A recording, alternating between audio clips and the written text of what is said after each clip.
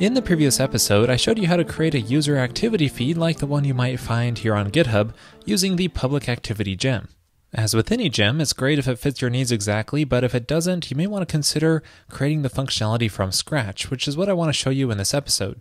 Fortunately, it's not too difficult to make an activity feed from scratch, but it does present some interesting problems, and in this episode, I'd like to walk you through some of my thought process on how I decide how to implement this kind of thing.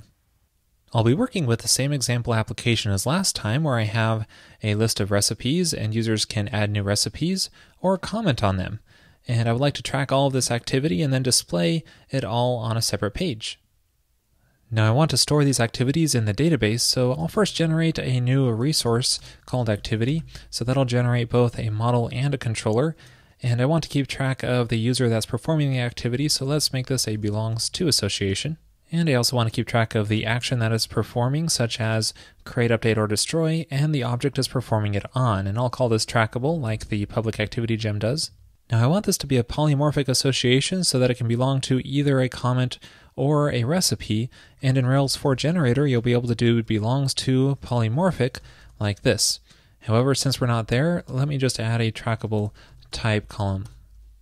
And then I'll run the migrations to create that activities table. Next, I need to do some quick cleanup here on the generated activity model. I need to make this trackable association polymorphic. And then I also want to set up the attr accessible so that we can set the trackable object when we create the activity. And I don't want to forget to set up the other side of this belongs to user association. So in my user model here, I'm going to add a has many activities so we can reference the user's activities uh, through that association. All right, pretty standard stuff so far, but the big question is how do we create these activity records whenever the user performs an action on our site? For example, if they uh, create a new recipe record, then we want to add an activity for that. So one option is through callbacks. So we could add an after create callback on here that creates a new activity and then sets the action as create and sets the trackable object as that recipe record. Now, more and more lately, I have been shying away from using active record callbacks like this. I do think they have their use cases, but it's important to be aware of the potential issues. One thing I don't like is that it makes it less obvious what exactly is happening in a controller action. Our recipes controller create action is going to trigger that callback, but from this point of view, we don't know that it's creating an activity record. It looks like we're only saving the recipe to the database. I like my controller actions to be more obvious on what is going on. I find that easier to read the code and debug it. Another issue with callbacks is that they often cause unintended side effects. There are other times that you might create a record outside of a user requ- request, such as in a rake task or a console, or uh, maybe seeding the database or in a test suite. Do you really want that callback to be triggered every time that happens? Another question I like to ask myself when deciding if I should use a callback or not is what if this callback happened to be triggered twice in one request? Would that have any unwanted effects? In this case, it would create two activity records, which is certainly not what I want. The question is more relevant to an update record callback, but I think it's a good question to ask either way. Now, another sign that this doesn't belong in a callback is that we can't easily reference the current user of the request, which is something we want to track on our activity. So there's a lot going up against using callbacks for recording activity behavior, so I'm not going to use it in this case. Instead, I'm just going to track the activity from the controller. So when we create a new recipe, I'm just going to create an activity like we did before, but now we can just go through the current user activities association when we create it. Now this is something I'll probably be doing a lot throughout the application, so let's move this into a method called a track activity, and then pass in the recipe object. And then in the uh, application controller, I can define that track activity method, and that'll take that trackable object, and that way I can use the uh, controller action as a default here. Now, if I run into any cases where I don't want this behavior, I could easily move this into a second argument that's optional. By the way, this works because Ruby evaluates argument defaults within the context of the method. Uh, if you don't find that to be clear though, you might want to just set this to nil and then set the default within the method, but either way works. So with this in place, we can easily add activity tracking to any controller action, and it's really not that much work to uh, add it to the create, update, and destroy actions or wherever else you might want it. And we can do the same thing to our comments controller here, just working off of the comment model whenever we create or destroy a comment, let's track it. By the way, if you find this makes your controller actions too complex for your liking, uh, the create action is kind of getting close here, uh, you might want to consider refactoring this into a service object like I show in episode 398. Alright, with what we've got so far, whenever we perform an action such as create a new comment, then it's going to create an activity uh, through that uh, controller. Next, let's work on making a page that displays these activities in a list.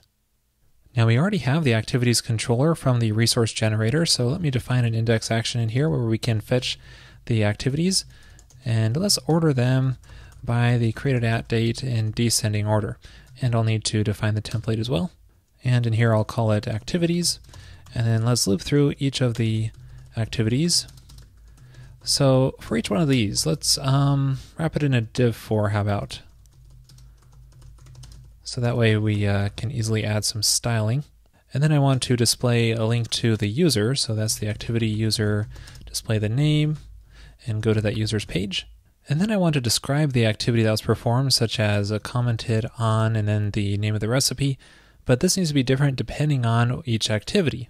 Now we could do this similar to how the public activity gem does, which is pretty clever, and that is to render a separate partial for each type of activity. So it might be under activities slash comment slash create for this given activity. And we can uh, reference this through activity dot trackable type and underscore that, and then have the create be the activity action. And then we just need to pass that activity object into here. So I'll quickly make this partial. We have our activities directory. Let's make a comment one in here and a create.html partial. And here I'll say commented on and then display a link to the recipe, which I can access through activity.trackable because that is going to be the comment record. And we can call recipe on this and then display the name and then a link to that. And one more thing, I need to add the styling, so I'll do that in here, just paste in some CSS. Now we can try this out. Visiting the activities path will show us that activity rendered out through the partial and we can easily add other partials to handle the different types of activities. Now what I would really like is if I didn't have to go through activity.trackable in these partials and instead it would be nice if I could reference the comment object directly here. That cleans things up a lot.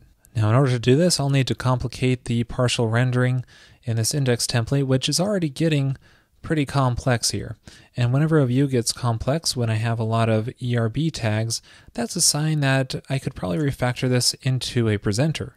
Now I covered presenters in detail in episode 287, but let me make one quickly here. I'll make a uh, presenters directory, and then I'll make a new file here called activitypresenter.rb. And then I'll make a class with that name, and let's define an initialize method that accepts the activity object and the view context. And actually, in this case, I want the presenter to delegate all the extra methods to the view context just so I don't have to go through the view each time. So I'm going to make this a simple delegator and then uh, call super here and pass it the view. By the way, simple delegator is a class provided by the Ruby standard lib. And let me uh, record this activity. And while I'm at it, let's make a reader method for the activity. So what I want this presenter to do is everything here involved in displaying the activity. So let's move this off into the activity presenter. I'll initialize it and pass in the activity and self for the view.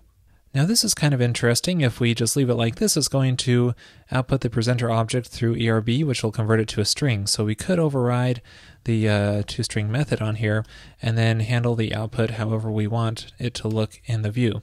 This feels a little bit too uh, fancy to me. I actually prefer to call a method on the presenter just so that it's uh, more obvious what's going on here. So I'm going to say render activity and let's define that method on the presenter here instead of using the two string approach. Now I want this method to uh, do basically the same thing that I did in the view. We have our div for call and let's add a link to the username and this will just append this with a space and the render call like we had uh, in the view. And this render call is pretty complex here, so we want, want to move this off into a method. Let's call it uh, render partial, like that. So I'll define that method, render partial, and this is still pretty complex, so let me move this off into a separate method. Let's call it partial path. And this, we want to uh, change this so that it's going to pass in the object that we're tracking as an argument into here. So it'd be like comment is activity.trackable. But to do that, let's move this off into a separate hash first called locals. And while we're at it, let's uh, pass in the presenter object into here too, so that we can reference it in the partial if we want to. And the locals hash is going to uh, set the activity type, which will be comment underscore, and let's convert it to a symbol, and set that to the activity.trackable object. And that way we'll be able to reference uh, that comment through the partial like this instead of using activity.trackable. Reload the page, and that still works. Yay! So now we can just create the extra partials for the various other activities, but what if after we do this that we find there's a lot of duplication between them and we would like to remove some of that duplication? And one way would be to create some kind of fallback partial. So uh, instead of creating a separate partial for each action of recipes, what if I want a single partial called uh, recipe.html.erb and that I want to handle all the recipe activities? It might look something like this, where we take the activity action name and let's make it past tense by uh, taking the E off, if there is one, and setting it to ED. And then we'll say recipe and then a link to that recipe. So that'll be the recipe name and the recipe. Now, currently, this will not work because in our presenter, we are hard coding the uh, partial path to include the activity action in it. But instead, we would like sort of a second partial path that we supply here for it to fall back to that doesn't include this action portion. Well, here's how you might do that. Let's define another method called partial paths, plural, and then let's make this an array of uh, different partials that we want to choose from. The highest will be searched first, and then we want uh, fallback partials. And let's make a third one here that is just activity slash activity, and that'll be sort of a global fallback. And then in our partial path method, we can loop through the partial paths and detect the one where the path has a template that exists. And to do that, we can go through the lookup context on the view and call a template exists on that. And this will uh, accept a path as a first argument. The second argument is an array of prefixes, which we can just pass in nil if we don't want prefixes. And then the third argument is whether it's a partial or not, and we'll say true. And then finally, if uh, no partial is found, let's raise an exception so it's a little easier to debug this case where we'll say uh, no partial found for activity in, and then we'll output the uh, partial paths like this. Well, I uh, think that's it. So if you ever wanted to make a uh, partial fallback system, you can just do something like this where the lookup context template exists method is uh, the key part here. Now off camera I did some uh, activity on the recipes and they're both rendered by that same partial file. It works. All right, we're pretty much done here. I'll just uh, fix up a couple things. Uh, one, we have to handle the case where the uh, trackable object might not exist, so let's make sure the recipe exists before we're linking to it. And similar for the comment, uh, let's uh, check if the uh, comment exists. And then if it doesn't, we'll display a little message. Otherwise, uh, let's link to that comment. And I still need to make a destroy action, so that'll just say uh, removed comment. And there we go. Here's what our page now looks like with a variety of different activities. And there are certainly things we could do to improve the look of this, but I think the main functionality is complete. Thanks for watching this episode on how you can add an activity feed from scratch.